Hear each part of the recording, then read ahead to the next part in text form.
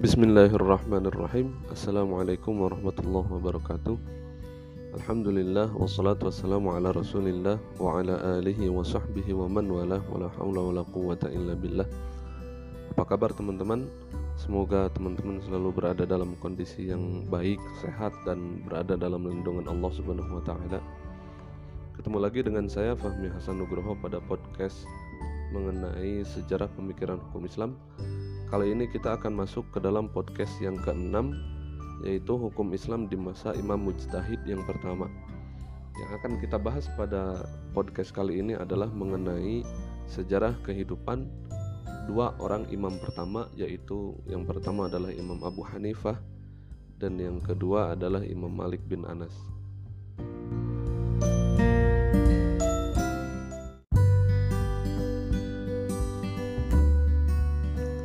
Sebelum kita masuk ke materi, ada dua hal yang perlu saya angkat dulu. Yang pertama adalah mengenai mazhab. Mazhab itu sebenarnya tidak dibangun oleh imam. Jadi Imam Abu Hanifah, Imam Malik, terus yang akan kita bahas pada minggu yang akan datang Imam Syafi'i dan Imam Ahmad. Mereka ini bukan pembangun mazhab. Jadi Imam Abu Hanifah bikin mazhab terus Imam Malik bilang wah Abu Hanifah udah punya mazhab di sana saya bikin ah gitu. Jadi bukan seperti itu. Tapi mazhab itu dibangun oleh muridnya. Murid-murid itu yang belajar dari sang guru kemudian melestarikan tradisi keilmuannya, mengajarkan ilmu-ilmunya, mengajarkan metode berpikirnya, metode ijtihadnya hingga akhirnya muridnya kemudian menyebarkan kepada muridnya lagi dan kemudian kepada muridnya lagi dan terus berjalan seperti itu. Jadi dari situlah mulai terbentuk yang namanya mazhab. Jadi ketika sudah banyak baru antar mazhab ini ketemu oh ini muridnya ini ini muridnya ini. Ketahuan bedanya apa. Jadi samalah kira-kira seperti madrasah seperti sekolah. Nah mazhab fikih itu nggak cuma empat. Sebenarnya banyak. Cuma karena tadi saya bilang yang namanya mazhab itu dibangun oleh murid para imam dan juga matinya juga adalah karena muridnya. Ya, mazhab-mazhab yang tidak tersisa itu adalah karena tradisi keilmuannya tidak berlanjut. Jadi seperti Imam Auza'i di Damaskus, beliau salah satu orang yang pertama kali menuliskan sunnah sebagaimana Imam Malik. Nah, Imam Auza'i di Damaskus beliau mazhabnya awalnya menjadi mazhab resmi oleh e, Bani Umayyah di Damaskus terus kemudian dibawa ke Andalus. Tapi ketika di Andalus nanti kalah saingan dengan tersebarnya mazhab Malik di sana. Ada juga Imam Lais bin Sa'ad di Mesir. Beliau imam besar. Beliau sezaman dengan Imam Abu eh, dengan Imam Abu Hanifah dan Imam Malik. Tapi pengaruh Imam Lais bin Sa'ad di Mesir kemudian mulai meredup dan juga kalah dengan hegemoni murid-muridnya Imam Malik dan juga oleh Imam Syafi'i nantinya. Jadi tidak ada yang melanjutkan lagi. Bahkan Imam Syafi'i menyatakan Al-Laitsu afqahu min Malik. Imam Lais bin Sa'ad itu lebih fakih daripada Imam Malik. Namun muridnya tidak melanjutkan mazhabnya jadi emang mazhab Imam Lais bin Sa'ad akhirnya tidak ada. Ada juga mazhab uh, Imam Daud Az-Zahiri. Imam Daud Az-Zahiri awalnya bermazhab Syafi'i terus kemudian uh, menjadi mustakil, memiliki banyak pendapat baru, pendapat sendiri dan mengajarkan kepada murid-muridnya. Cuma mazhab Zahiri ini meskipun muridnya banyak dan banyak buku yang ditulis di zamannya, tapi kalah juga dengan serangan atau bantahan dari para ulama dari mazhab-mazhab lain hingga akhirnya mazhab Zahiri hilang. Hilang di awal di Irak terus kemudian nanti tiba-tiba akan bangkit ketika uh, adanya Imam Ibnu Hazm Al-Andalusi. Dan setelah itu juga ya redup lagi, tidak ada lagi yang melanjutkan. Nah, sedangkan imam yang empat ini adalah yang masih eksis hingga saat ini, yang teruji sepanjang zaman, yang tradisi keilmuannya masih terus berlanjut sampai hari ini. Imam Abu Hanifah Nu'man bin Sabit terus kemudian Imam Malik bin Anas Imam Muhammad bin Idris Asy-Syafi'i dan yang terakhir Imam Ahmad bin Hanbal selain empat ini masih ada juga mazhab yang lain uh, yaitu mazhab Syiah Isna Asyariyah uh, yang dianut oleh mayoritas masyarakat Iran dan juga oleh sebagian kalangan Syiah di Indonesia. Terus ada juga mazhab Syiah Zaidiyah itu yang sekarang dianut oleh sebagian penduduk di Yaman. Jadi di Yaman mayoritas adalah madhab Syafi'i, tapi juga ada yang menganut mazhab Syiah Zaidiyah. Ada juga mazhab uh, Ibadiyah di daerah Oman di sana. Tapi yang sering atau yang paling banyak pengikutnya ya empat mazhab ini dan juga mazhab Syiah Isna Syariah. Nah, itu yang pertama yang akan dibahas. Lalu kemudian yang kedua adalah e, mengenai kondisi perpolitikan di masa itu. Ini penting untuk kita bahas ya biar kita juga mempelajari sejarah yang terjadi di masa itu. Tahun 129 Hijriah sampai 132 Hijriah atau 747 sampai 750 Masehi itu terjadi pemberontakan Bani Abbasiyah terhadap kekuasaan Bani Umayyah. Nah, dan diakhiri dengan jatuhnya Bani Umayyah dan deklarasi Abul Abbas As-Saffah sebagai khalifah pertama Bani Abbasiyah. Dan itu kejatuhan kejatuhan Bani Umayyah dan berdirinya Abbasiyah itu terjadi pada tahun 132 Hijriah. Nah, ketika Abbasiyah berdiri, jadi dari revolusi itu, pemberontakan itu sampai akhirnya khilafah Abbasiyah berdiri, kekuatan atau anasir dinasti Umayyah itu dibabat habis. Yang ketemu dibunuh, dibantai dan sisanya lari. Nah, di antara yang masih tersisa dan masih apa masih diberikan oleh Allah keselamatan itu mereka ada yang melarikan diri ke Afrika Utara dan masuk ke wilayah Andalusia yang sebelumnya memang sudah dikuasai oleh Bani Umayyah. Jadi Bani Umayyah kekuasaannya itu sampai ke Afrika Utara bahkan sampai bisa menguasai Andalusia. Jadi Andalusia dulu udah udah ada gubernur dari Bani Umayyah. Nah, ketika Bani Umayyah hancur di eh, di Damaskus, sebagian kekuatan ya sebagian keturunannya ada yang pergi ke Andalus. Akhirnya sempat terjadi ya perebutan kekuasaan lah. Saya khalifah eh, saya saya keturunan khalifah kamu cuma gubernur. Harusnya saya yang mimpin itulah kira-kira. Akhirnya ya ribut-ribut dikit akhirnya tetap yang memimpin kembali Bani Umayyah. Awalnya Bani Umayyah di sana hanya amir saja hanya amir saja lalu kemudian pada tahun hmm, 316 Hijriah itu berubah menjadi uh, khilafah jadi sejak tahun 316 ada dua khilafah khilafah Abbasiyah dan uh, khilafah Umayyah di Andalus. Nah, itu. Setelah runtuhnya Bani Umayyah di Damaskus dan berdirinya Abbasiyah di Baghdad tahun 132 Hijriah, ada kekacauan yang ada di wilayah Jazirah Arab. Jadi wilayah itu terjadi kekacauan yang luar biasa itu selama 12 tahun. Nah, Imam Abu Hanifah dan Imam Malik itu mengalami kejadian ini. Imam Abu Hanifah dan uh, Imam Malik mengalami transisi masa antara Bani Umayyah ke Bani Abbasiyah. Karena Imam Abu Hanifah itu hidupnya antara tahun 80 sampai 150 dan Imam Malik antara 93 sampai 179. Jadi dua-duanya hidup ketika terjadi e, pemberontakan ini tahun 129 sampai 132 ya mereka hidup di sini juga mereka merasakan dampak dari adanya ya pergantian kekuasaan. Oke. Maka sekarang kita masuk mulai masuk ke dalam pembahasan mengenai uh, imam mazhab tersebut. Yang pertama adalah Imam Abu Hanifah. Imam Abu Hanifah, Abu Hanifah itu nama kunyah.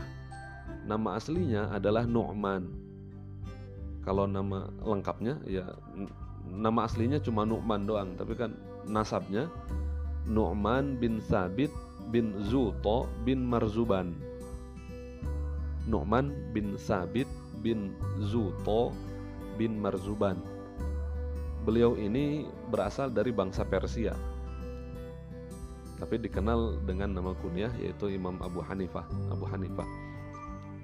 Nah, beliau adalah bangsa Persia. Jadi kita sebagai orang ajam, orang non Arab ya memiliki kesempatan yang sama dengan orang Arab dalam hal menjadi dalam hal mendalami ilmu keagamaan. Gitu. Beliau lahir di Kufah tahun 80 Hijriah atau tahun 699 Masehi pada masa kepemimpinan Ab, eh, Abdul Malik bin Marwan.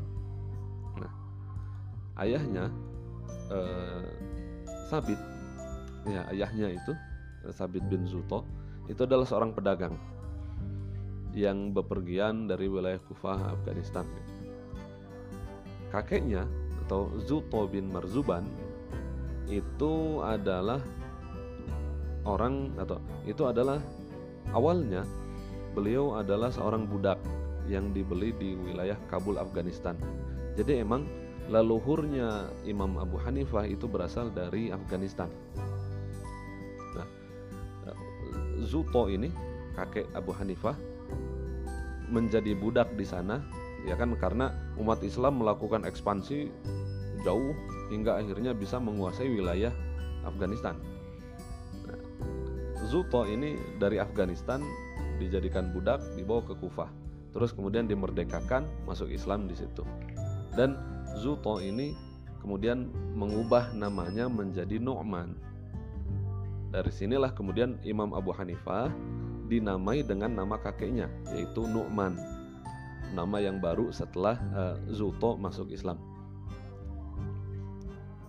nah tapi memang ada sebagian sebagian sejarawan Arab yang menyatakan Abu Hanifah itu bukan bangsa Persia tapi merupakan bangsa Arab nah sejak Imam Abu Hanifah kecil ya karena memang bapaknya adalah seorang pedagang jadi Imam Abu Hanifah dari kecil sering bantu orang tuanya untuk berjualan di pasar. Hingga akhirnya Imam Abu Hanifah pun menjadi seorang pedagang. Jadi emang hidupnya banyak di pasar. Tapi bukan berarti Imam Abu Hanifah itu nggak belajar. Beliau belajar, beliau hafal Quran, cuma emang kehidupannya aja di pasar. Jadi nggak orang-orang dulu ilmu agama tetap penting meskipun terserah mereka jadi apa. Bahkan seperti di Mesir saja banyak seperti di Masjid Azhar itu eh, apa namanya tukang bersih bersih di masjid itu dia hafal Quran. Nggak heran kalau misalkan di pasar di jadi pedagang terus jadi supir taksi dia hafiz Quran dia bisa ngaji dengan baik suaranya bagus. Nggak kayak kita kalau di sini orang ketika sudah punya pekerjaan akhirnya lupa dengan ilmunya hingga akhirnya yang mendalami ilmu-ilmu agama itu cuma ustadz aja atau para santri. Tapi ketika udah ketika udah masuk pekerjaan akhirnya lupa dengan ilmu-ilmunya. Padahal kan ilmu agama tetap wajib dan juga pekerjaan tetap wajib. Jadi Abu Hanifah ini ya beliau hafiz Quran ya beliau juga adalah seorang pedagang sebelum menjadi ulama. Jadi emang eh, dulu hafiz Quran itu bukan syarat bukan syarat untuk menjadi ulama tapi emang standar minimal manusia atau umat Islam saat itu ya hafal Quran itu Imam Abu Hanifah ketika kecil sudah hafal Al-Quran beliau menjadi pedagang tapi belum jadi ulama akhirnya beliau ketemu dengan Imam Sya'bi beliau seorang tabi'in uh, lahir tahun eh, wafat tahun 104 Hijriah. Imam Sya'bi ini tabi'in di Kufah. Beliau ketemu dengan uh, Imam Abu Hanifah. Dia nanya, "Abu Hanifah, kamu mau ke mana?" "Saya mau ke pasar." "Saya lihat kamu suka bolak-balik ke pasar." "Iya, saya sering bolak-balik ke pasar. Gimana lagi karena orang tua saya di sana bekerja di sana, saya harus bantuin orang tua." "Kenapa kamu nggak bolak-balik ke ulama?" akhirnya dari pembicaraan Imam Abu Hanifah dengan Imam Syafi'i di situ Imam Abu Hanifah tersadar kata Imam Syafi'i la kamu jangan lalai banyak-banyak kamu datengin ulama jangan terlalu banyak hidup di pasar. Jadi sejak saat itu akhirnya Imam Abu Hanifah bergaul dengan para ulama. Beliau datang ke majelis-majelis para ulama, datang ke sini, datang ke sini, ke sini untuk belajar ilmu. Jadi perjalanan ilmiah Abu Hanifah dimulai dari sini. Gitu. Nah, Imam Abu Hanifah itu kan hidup di Kufah. Sebagaimana yang kita bahas pada podcast yang lalu, Kufah itu kan kota met kota metropolitan. Di situ banyak ya di situ banyak terjadi intrik politik, di situ aliran-aliran ada, ada Syiah, ada Mu'tazilah, ada Khawarij di situ, ada Murji'ah di situ. Pokoknya macam-macam ada di Kufah.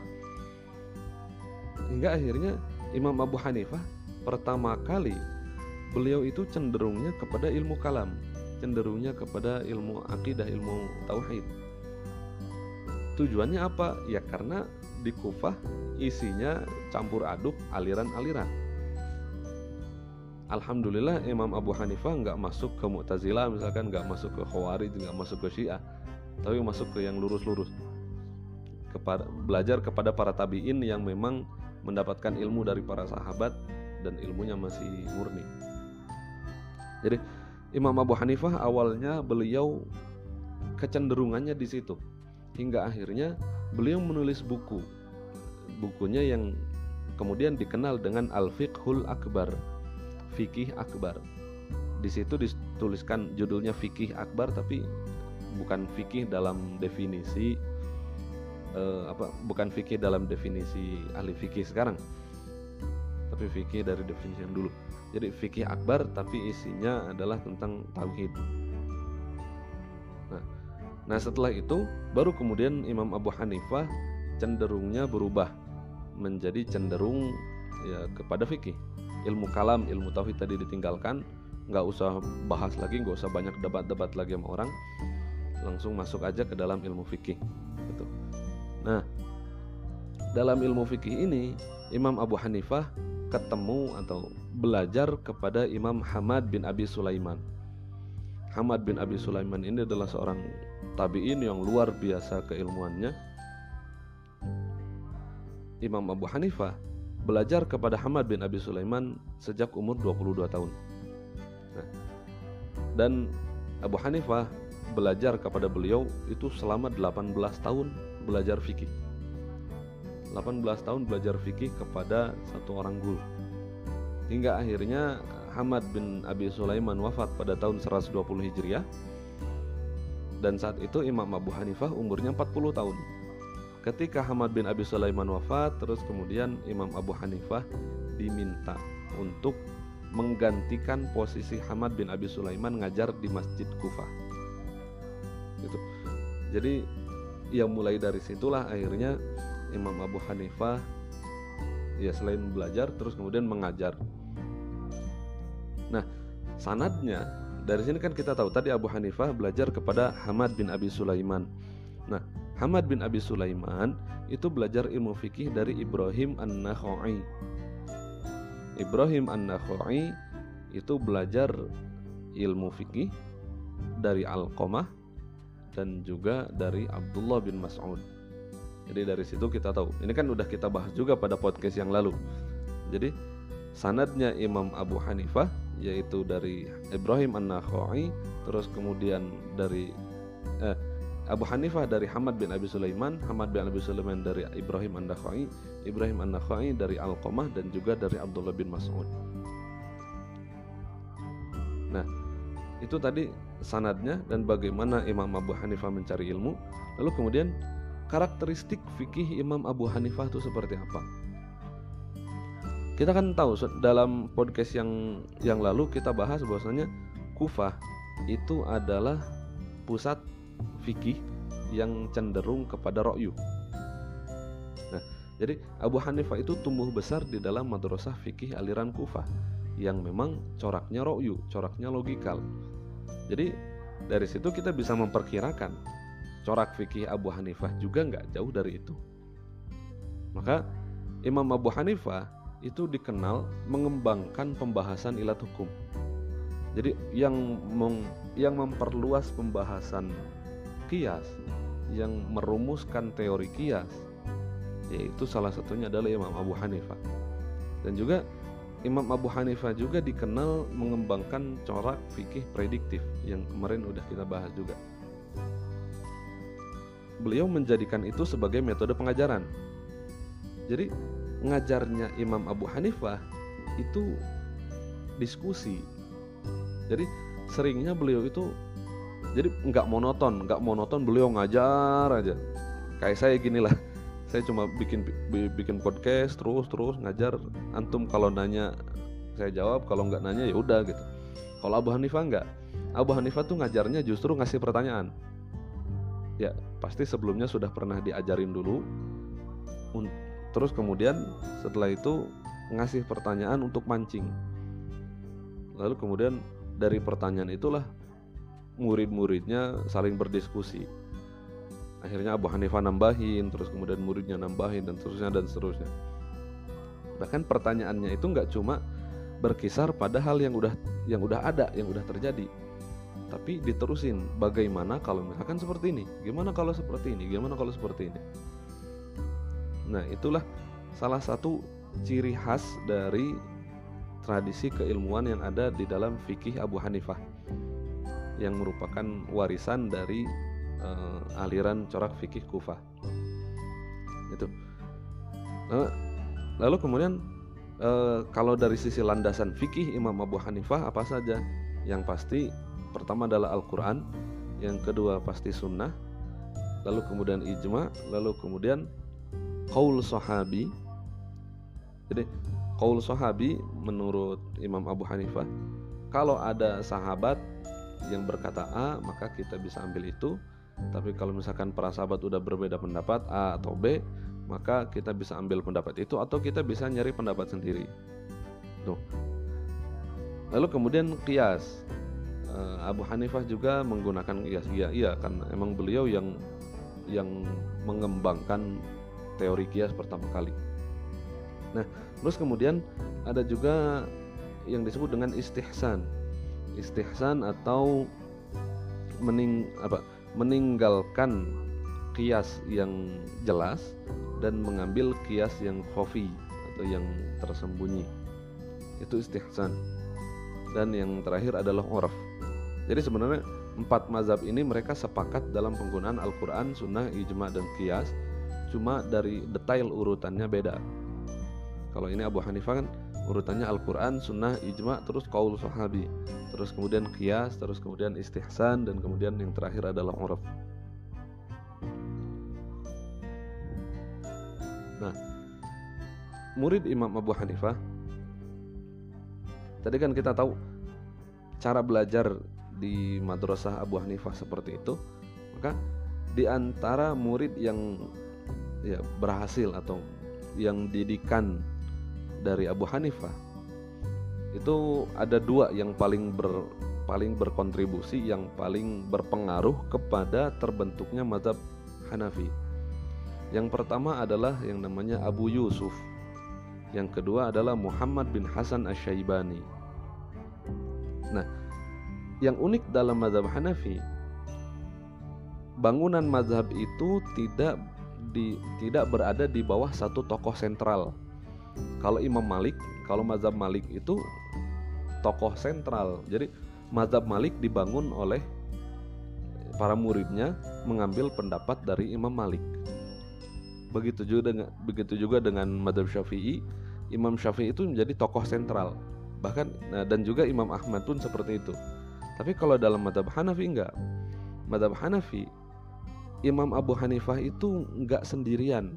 Jadi bukan tokoh sentral. Tapi tokoh utama dalam madhab Hanafi itu tiga. Ya Abu Hanifah sang imam lalu kemudian dua orang muridnya yang tadi Abu Yusuf dan juga Muhammad bin Hasan Asyaibani. Bahkan Imam Muhammad bin Hasan Asyaibani ini yang paling berjasa dalam menuliskan pendapat-pendapat Imam Malik. Itu Imam Muhammad bin Hasan Asyaibani jadi dalam literatur buku mazhab Hanafi kita akan selalu melihat kadang-kadang pendapat Imam Abu Hanifah sama dengan pendapat dua muridnya, kadang-kadang Imam Abu Hanifah sama dengan Abu Yusuf beda dengan Imam Syaibani. Kadang-kadang Abu Hanifah sama dengan Imam Syaibani beda dengan Abu Yusuf. Kadang-kadang tiga-tiganya beda. Jadi ya seperti itulah madhab, Syaf, eh, madhab Hanafi. Jadi dalam dalam bukunya pendapat pendapat utama atau pendapat ya paling awal dalam madhab adalah pendapat tiga orang itu nah yang menarik dari kehidupan Imam Abu Hanifah, beliau itu pernah ditawarin untuk menjadi apa? Beliau pernah ditawarin untuk menjadi qadhi, menjadi hakim oleh Yazid bin Umar, gubernur Bani Umayyah.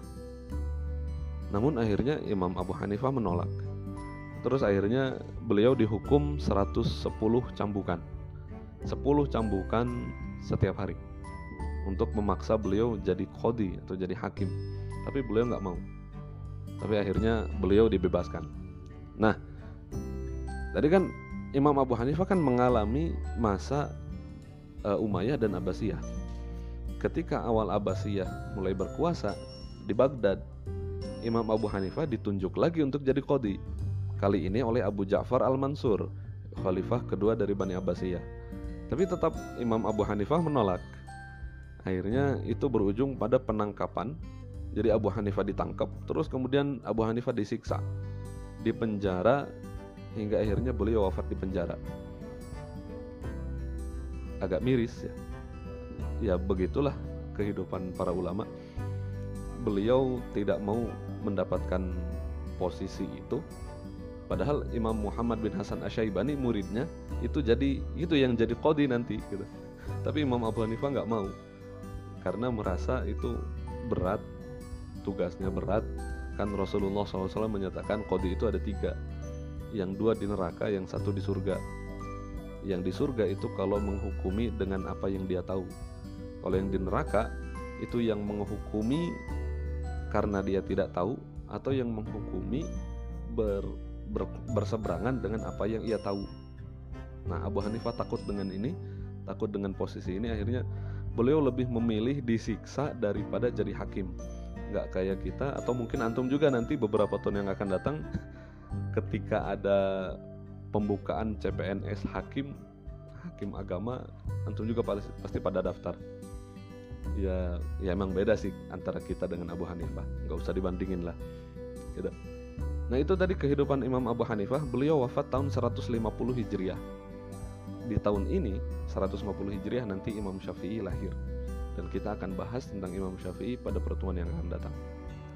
Nah, yang kita bahas yang kedua adalah Imam Malik bin Anas. Beliau lahir tahun 93 Hijriah dan wafat tahun 179 Hijriah. Imam Malik namanya nama lengkapnya itu Malik bin Anas bin Malik bin Abi Amir Al-Asbahi jadi Malik bin Anas bin Malik bin Abi Amir al-Asbahi. Bapaknya itu Anas bin Malik, tapi bukan Anas bin Malik sahabat. Tapi Anas bin Malik yang lain gitu. Nah, keluarganya merupakan keturunan suku Asbah. Makanya beliau dikenal apa sukunya apa nisbatnya adalah Al-Asbahi gitu. Karena beliau keturunan suku Asbah dari Yaman. Ayahnya Anas bin Malik bukan Anas bin Malik sahabat ingat. Anas bin Malik adalah seorang muhaddis. Tapi ya tapi tidak sebanyak uh, pamannya gitulah dalam meriwayatkan ilmu hadis. Kakeknya Malik bin Abi Amir kan Malik bin Anas bin Malik bin Abi Amir kakeknya yaitu Malik bin Abi Amir itu beliau adalah seorang tabiin senior yang banyak meriwayatkan hadis dari Umar, dari Utsman, dari Aisyah. Bahkan uh, Malik bin Abi Amir ini termasuk tim penulis Al-Qur'an di masa Utsman bin Affan. Jadi kan uh, pada pertemuan yang yang dua minggu yang lalu kita tahu bahwasanya pembukuan Al-Quran terjadi dua kali. Pertama masa Abu Bakar, yang kedua adalah masa uh, Utsman bin Affan. Nah, tim di masa pembukuan Utsman bin Affan ini salah satunya adalah Malik bin Amir, kakek dari Imam Malik bin Anas. Tuh. Bahkan uh, Malik bin Abi Amir ini beliau adalah orang yang masuk ke dalam rumah Utsman untuk mengurusi jenazah Sayyidina Utsman setelah beliau terbunuh pada pemberontakan yang terjadi di sana. Setelah setelah pemberontakan orang-orang masuk ke rumah Utsman bin Affan, beliau terbunuh, terus bubar, barisan bubar karena Utsmannya udah terbunuh. Nah, beliau salah satu orang yang masuk dan mengurusi jenazahnya. Imam Malik bin Anas lahir tahun 93 di Madinah. Tahun yang sama dengan wafatnya sahabat Anas bin Malik di Basroh. Jangan ketukar-ketukar, hati-hati. Nah, Imam Malik itu lahir, hidup, tumbuh, dan wafat di Madinah. Beliau nggak pernah keluar dari Madinah, kecuali ke Mekah melaksanakan haji. Selain itu, hidupnya beliau selalu ada di Madinah. Yang ngapain keluar di Madinah? Karena ilmu ada di Madinah Rasulullah SAW berada di Madinah, wafat di Madinah. Hukum-hukum Islam kebanyakan di Madinah diturunkan. Para sahabat mayoritas masih ada di Madinah. Hadis banyak yang meriwayatkan hadis itu masih berada di Madinah. Bahkan apa kehidupan Rasul atau kehidupan beragama ala Rasul itu sudah menjadi budaya penduduk Madinah ya. Ngapain Imam Malik harus keluar dari Madinah gitu? Akhirnya beliau selalu di situ. Nggak kayak nggak kayak kita lah. Kita belajar jauh dari mana dari mana ke sana ke sini ke sana ke sini. Kalau Imam Malik enggak Imam Malik menghafalkan Al-Quran sejak kecil ya jelas itu tradisi para ulama di zaman dulu seperti itu sebelum mereka masuk ke dalam fikih mereka belajar hafal Al-Quran dulu Nah, Imam Malik menghafalkan Al-Quran sejak kecil. Awal-awal belajar, beliau belajar kepada Ibnu Hurmuz. Ibnu Hurmuz wafat tahun 148 Hijriah. Beliau belajar kepada Ibnu Hurmuz itu sekitar 7 sampai 8 tahun. Imam Malik berkata mengenai gurunya ini atau mengenai bagaimana beliau mengambil ilmu dari gurunya. Beliau berkata, "Saya mendatangi Ibnu Hurmuz dari pagi dan baru keluar dari rumahnya itu pada malam hari. Kebayang saking dekatnya Imam Malik dengan Ibnu Hurmuz. Ya, Imam Ibnu Hurmuz itu banyak menceritakan atau banyak menyampaikan hal-hal kepada Imam Malik yang tidak disampaikan kepada orang lain. Nah, meskipun Ibnu Hurmuz sendiri ini tidak banyak orang yang mencatat mengenai kehidupannya. Tuh, tapi tercatat bahwasanya Imam Malik itu pernah belajar kepada beliau dan dan banyak mendapatkan ilmu dari beliau. Lalu kemudian Imam Malik juga belajar kepada uh, Nafi' Maula Ibnu Umar yang kemudian menurut Imam Bukhari silsilah emas atau sandad emas itu berasal dari Imam Malik, dari Imam Nafi, dari Abdullah bin Umar, dari Rasulullah SAW. Nah, Imam Malik juga belajar kepada Ibnu Syihab Az-Zuhri beliau asalnya adalah mufti Bani Umayyah di Damaskus terus kemudian pindah ke Madinah dan menetap di Madinah karena beliau di Madinah terus kemudian banyak orang yang datang kepada beliau berguru termasuk di dalamnya adalah uh, Imam Malik bin Anas. Nah tapi guru yang paling berpengaruh dalam kehidupan Imam Malik itu adalah namanya Robi'ah bin Abdurrahman atau dikenal juga dengan Robi'atul Ro'yi dikenal uh, apa diriwayatkan uh, ibunya Imam Malik ibunya Imam Malik itu makein imamah. Imamah itu apa apa ya sorban di atas kepala lihat agim. Agim kalau pakai sorban di atas kepala nah gitu kira-kira. Nah Imam Malik dipasangin itu sama ibunya. Terus kemudian ibunya bilang sama Imam Malik idhab ila Robi'ah. Pergilah kamu ke Robi'ah. Wangzur min adabihi qabla ilmihi. Dan lihatlah adabnya sebelum ilmunya. Itulah yang diajarkan oleh para ulama dulu untuk mempelajari adab dulu sebelum mempelajari ilmu. Kalau kita kan beda, kita boro-boro ngomongin adab, yang penting nilai mau nilai mau didapatkan dengan benar atau enggak, pokoknya nilai gede gitu. Ya bedalah antara kita dengan eh, para ulama zaman dulu. Nah, di antara guru Imam Malik juga adalah uh, Imam Ja'far As-Sadiq dan juga Imam uh, Muhammad Al-Baqir. Mereka berdua ini adalah imam ahli ilmu yang diakui keilmuannya baik oleh Sunni ataupun oleh Syiah. Cuma beda keyakinannya doang. Kalau menurut uh, Ahlus Sunnah, Imam Ja'far As-Sadiq dan Muhammad Al-Bakir itu ya posisinya sama dengan Ibnu Syihab Az-Zuhri, sama dengan uh, Rabi'atul Ra'yi, sama dengan Imam Nafi gitu. Sama, ahli ilmu, hanya memiliki kelebihan nasab. Kalau menurut Syiah, Ja'far As-Sadiq dan Muhammad Al-Bakir ini ia tidak hanya ahli ilmu, tapi mereka adalah imam sebagai penerus sah keimaman setelah Rasul langsung digantikan oleh Ali bin Abi Thalib, oleh Hasan, oleh Husain, oleh Ali Zainal Abidin, baru kemudian oleh uh, Muhammad Al-Bakir, lalu kemudian oleh Imam Ja'far As-Sadiq. Ya beda beda keyakinannya tapi sama-sama menghormati posisi ya, sama-sama menghormati dua sosok ini gitu. Nah, jadi dari situ kita tahu sanadnya Imam Malik. Sanadnya Imam Malik itu ya tadi dari Robi'atul Ro'yi, dari Ibnu Syihab Az-Zuhri, dari Nafi dan juga dari Ja'far As-Sadiq dari Muhammad Al-Bakir. Mereka semua adalah alimul Madinah, para ulama Madinah yang belajar kepada para sahabat junior yang ada di Madinah. Ya, seperti Aisyah, seperti Abdullah bin Umar, seperti Abu Hurairah yang udah kita bahas pada pertemuan yang lalu. Nah, yang menarik dari Imam Malik, beliau baru bersedia untuk mengajar itu setelah mendapatkan persetujuan dari setidaknya 70 orang ulama di masanya. Jadi nggak nggak cuma dapat ijazah dari kampus udah beres gitu tidak ada yang mengakui keilmuannya enggak tapi beliau diakui dulu keilmuannya minimal oleh 70 orang ulama di masanya.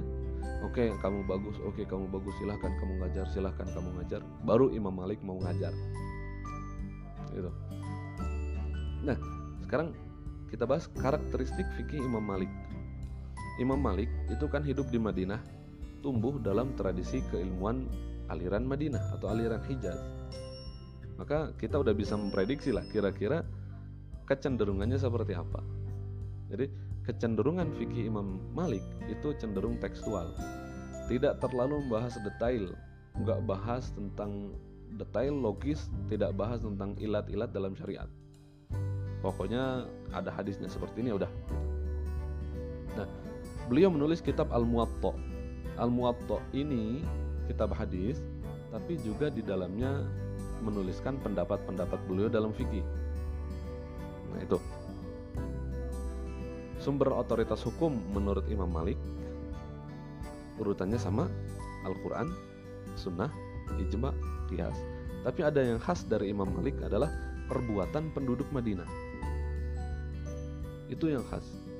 Jadi menurut Imam Malik kan tadi argumentasinya Rasul turun di Madinah, hukum-hukum kebanyakan di Madinah, hukum Islam pertama kali dilaksanakan oleh para penduduk Madinah dan itu sudah menjadi budaya di Madinah. Jadi ketika tidak mendapatkan dalil dari Al-Quran ataupun Sunnah, beliau tinggal lihat bagaimana penduduk Madinah mengamalkan itu. Karena yakin ini diriwayatkan atau ini sudah di, dilaksanakan oleh masyarakat secara turun temurun bahkan itu kekuatannya lebih kuat daripada hadis ahad hadis ahad itu cuma satu orang meriwayatkan dari satu orang. Kalau ini satu penduduk satu kota ratusan orang mereka melihat dari leluhur mereka ratusan orang mengamalkan ini. Maka ya itu lebih kuat menurut Imam Malik. Jadi beliau berpandangan apa yang dilaksanakan oleh penduduk Madinah saat itu? Karena beliau kan hidupnya masih kira-kira kurang dari 100 tahun setelah Rasul wafat. Jadi beliau beranggapan apa yang dilaksanakan oleh penduduk Madinah saat itu adalah gambaran syariat di masa Rasulullah SAW. Nah itu, itu adalah uh, yang khas dari beliau adalah tentang menjadikan perbuatan penduduk Madinah sebagai dalil hukum jika tidak ada dari Al-Quran, Sunnah, Ijma ataupun Kias. Nah, terus kemudian satu lagi sumber hukum Islam menurut Imam Malik adalah sadu zari'ah. Sadu zari'ah adalah mencegah suatu hal yang halal karena ditakutkan untuk apa mendatangkan madorot mendatangkan mudorot itu sadu zariah. Nah di antara murid Imam Malik Imam Malik memiliki banyak murid tapi di antara murid yang paling berpengaruh yang pertama itu adalah ada namanya Abdurrahman Ibnul Qasim Abdurrahman Ibnul Qasim ini adalah orang yang menjadi pintu penyebaran mazhab Malik. Beliau adalah orang Mesir. Setelah belajar kepada Imam Malik, beliau pulang ke wilayahnya ke Mesir dan kemudian menyebarkan fikih mazhab Malik di Mesir. Terus kemudian dari Mesir akhirnya fikih mazhab Malik ini terus dibawa sampai ke Afrika Utara. Ya dari dari Mesir dibawa ke sampingnya ke Libya, sampingnya ada Tunisia, sampingnya ada Aljazair, sampingnya ada Maroko, bahkan sampai ke utara, sampai ke Andalus. Jadi penyebaran fikih uh, penyebaran fikih Malik, mazhab Malik itu kebanyakan ke sana. Orang-orang Afrika Utara sampai Andalusia dulu, bahkan sampai Afrika Tengah itu mazhabnya Malik. Berbeda dengan mazhab Abu Hanifah Abu Hanifah itu menyebarnya ke wilayah Asia Tengah. Wilayah Asia Tengah dan juga ke Turki. Karena uh, Turki Utsmani dulu mazhabnya adalah mazhab Hanafi. Jadi lucunya eh, ya lucu nggak tahu lucu atau enggak Abu Hanifah beliau berasal apa leluhurnya berasal dari Afghanistan. Terus dibawa ke Kufah pindah ke Kufah Abu Hanifah lahir besar di Kufah. Eh kemudian mazhab Abu Hanifah mazhabnya itu dipakai di Afghanistan. Nah gitulah kira-kira. Nah terus di antara murid uh, Imam uh, Imam Malik yang berpengaruh juga adalah Imam Muhammad bin Hasan Asyaibani nah ini menarik ini. Jadi Imam Muhammad bin Hasan Asyaibani beliau adalah murid utama dari mazhab uh, Abu Hanifah dari Imam Abu Hanifah tapi beliau juga berguru belajar kepada Imam Malik Bahkan Imam Muhammad bin Hasan Asyaibani ini merupakan salah satu periwayat kitab Al-Muwatta. Jadi kalau kita mencari kitab Al-Muwatta karya Imam Malik di antara riwayat yang masih tersedia hingga hari ini ada dua. Yang pertama adalah kitab Al-Muwatta karya eh, apa? Yang pertama adalah kitab Muwatta yang diriwayatkan oleh Yahya bin Yahya Al-Laitsi. Yang kedua adalah uh, kitab Al-Muwatta yang diriwayatkan oleh Muhammad bin Hasan Asyaibani. Dan memang dua riwayat ini ya dua apa dua versi Muwatta ini yang diriwayatkan oleh dua orang yang berbeda ini ada sedikit banyak perbedaan. Tambah lagi Imam Muhammad bin Hasan eh, bin Hasan Asyaibani kan fikihnya fikih eh, Hanafi. Jadi beliau banyak memiliki banyak perbedaan pendapat dengan uh, Imam Malik tapi masih tetap meriwayatkan Muwatta.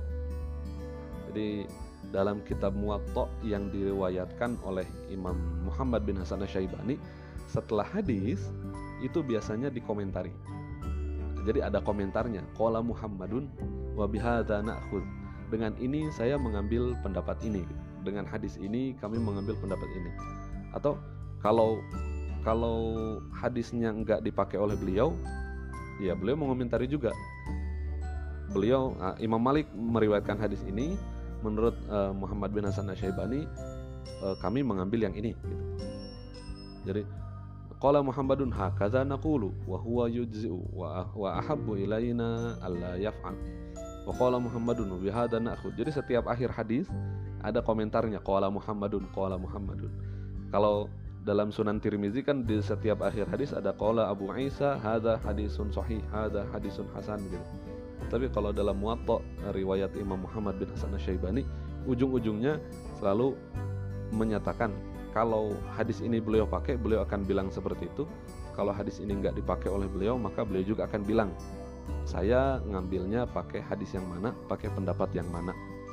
Nah itu uniknya eh, Muwatta dengan riwayat Muhammad bin Hasan Asyaibani. Di antara murid Imam Malik yang lain adalah Imam Muhammad bin Idris Asyafi'i. Soko apa? Guru maha guru kita. orang-orang Indonesia bermadhab Syafi'i. Nah, kita akan membahas mengenai Imam Muhammad bin Idris Syafi'i dalam podcast yang selanjutnya. Nah, lalu kemudian ada yang menarik dari kehidupan Imam Malik. Beliau pernah dicambuk dan diarak keliling Madinah atas perintah dari Ja'far bin Sulaiman. Itu gubernur Abu Ja'far al-Mansur untuk kota Madinah. Gara-gara Imam Malik menyatakan perceraian atas dasar paksaan itu tidak sah dan juga bayat atas dasar paksaan itu juga nggak sah. Hingga akhirnya uh, Imam Malik dianggap anti terhadap uh, khilafah Abbasiyah yang saat itu baru berdiri. Ya dianggap masih pro Umawi kira-kira gitu. Akhirnya beliau dicambuk dihukum diarak ke sana sini. Gitu. Terus kemudian uh, ada lagi yang menarik bahwasanya Abu Ja'far al-Mansur, khalifah kedua dari Bani Abbasiyah, beliau pernah datang mengunjungi Imam Malik. Lalu kemudian meminta izin kepada Imam Malik agar kitab Al-Muwatta menjadi standar hukum Islam yang diberlakukan di seluruh wilayah Bani Abbasiyah. Tapi Imam Malik menolak. Jadi Imam Malik menolak adanya standarisasi mazhab atau adanya mazhab negara Kata Imam Malik, "Ma yanbaghi laka ya Amirul Mukminin." Ini tidak pantas hai uh, Amirul Mukminin. An tahmilan nasa ala qawli rajulin wahid. Kamu atau engkau menjadikan seluruh umat ini berada di bawah pendapat satu orang. Yukhti wa yusib. Dan orang itu sebenarnya adalah orang yang yukhti, kadang-kadang salah, wa yusib, kadang-kadang benar wa innamal haqqu ma'a Rasulillah sallallahu alaihi wasallam. Sesungguhnya kebenaran itu berada bersama Rasulullah sallallahu alaihi wasallam. Terus beliau melanjutkan, qad tafarraqu ashabuhu ashabu fil buldan. Para sahabat itu sudah berpencar di buldan, di wilayah-wilayah. Wa qallada ahlu kulli baladin minal amsari man sara ilaihim. Dan penduduk yang didatangi itu mereka bertaklid, mereka mengikuti para sahabat yang datang ke situ. Jadi maka beliau menyatakan faakir maka ya biarkanlah. Maka setujui setujuilah agar ahla kulli baladin ala ma indahum. Agar setiap penduduk itu ya bersyariat atau melandaskan ajarannya sesuai dengan apa yang mereka yakini. gitu. Itu betapa tawaduknya, betapa rendah hatinya Imam Malik dan betapa fakihnya Imam Malik. Tadi kan di, di pernyataannya beliau menyatakan qauli rajulin wahidin yukhti wa yusib. Itu yang dimaksud adalah dirinya. Jadi tidak pantas bagi engkau hai Amirul Mukminin untuk menjadikan seluruh umat Islam ini berada di bawah saya yang mana saya itu masih salah, masih benar. Coba bandingkan dengan sebagian kelompok dari kita, mereka menyatakan kebenaran ada di sini. Inilah manhaj yang sahih, ini manhaj yang benar. Kita adalah firqotun najiyah, sedangkan yang lain adalah firqoh dolalah, lainnya adalah ahlu bidah, selainnya adalah ini. Ya bedalah antara kita sekarang dengan Imam Malik agak nggak enak ya kalau setiap kita bahas kehidupan para ulama yang robbani terus kita bandingkan dengan kehidupan kita di zaman sekarang. nah, kira-kira itu teman-teman yang kita bahas pada podcast kali ini. Uh, jadi apa yang bisa kita pelajari dalam mata kuliah hari ini semoga bisa kita amalkan dalam kehidupan semoga bisa kita resapi kehidupannya dan bisa menjadi bekal bagi kita agar kita bisa ingat mengenai kehidupan mereka dan juga paling tidak minimal lah orang PMH mahasiswa eh, jurusan perbandingan mazhab dan hukum itu bisa lebih toleran khususnya dalam masalah mazhab. Karena tadi Imam Malik aja bisa toleran masa kita yang di bawah kroco malah kuat-kuatan dalil malah apa malah sering berdebat. Itulah kira-kira. Oke gitu teman-teman yang bisa kami sampaikan. Kurang lebihnya saya mohon maaf. Semoga bermanfaat. Semoga kita selalu berada dalam lindungan Allah Subhanahu wa taala. Wabillahi taufiq hidayah. Assalamualaikum warahmatullahi wabarakatuh